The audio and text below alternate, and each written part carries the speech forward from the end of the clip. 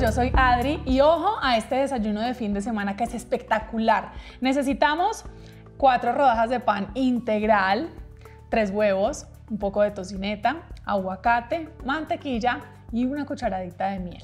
Muy bien, lo primero que vamos a hacer es poner la tocineta en una sartén sin nada de grasa porque esto suelta bastante grasa. Entonces vamos a poner estas dos rodajas y le vamos a poner un poquitico de miel, es una cucharada de miel realmente al gusto y la vamos a dejar ahí un momentico.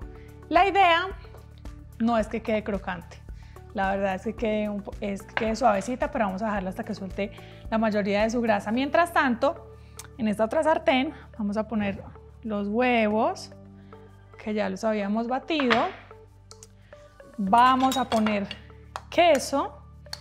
Es muy importante el queso, pero sobre todo es muy importante la mantequilla, en este caso, porque es lo que le va a dar eh, esponjosidad a estos huevos.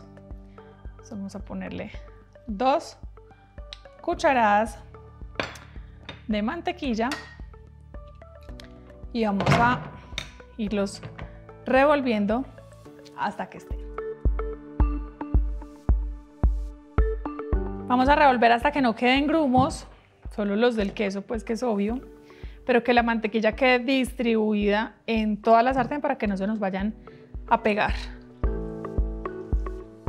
El olor de esta receta es espectacular. Esto estuvo, huele delicioso. Es muy importante que sepan que estos huevos no quedan secos, ¿no? Porque tiene la humedad del queso y también de la mantequilla, entonces pareciera que están crudos, pero no, están cremosos. Entonces vamos a poner lo primero es una capa de huevo al pan. Si está dentro de sus posibilidades, si les gusta, si prefieren, pueden tostar previamente el pan en una sartén en un hornito o una parrilla de la misma de las arepas. Puede ser. Entonces ahí ponemos este huevito. Luego, sobre esto, vamos a poner esta tocineta que ustedes no saben la delicia. O sea, de verdad, ustedes tienen que hacer esta tocineta caramelizada es una delicia. Huele rico, sabe rico. Y aguacate.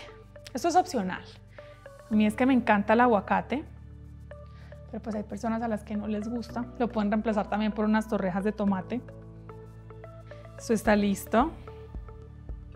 Es muy rico, así que que lo disfruten y nos vemos en una próxima receta.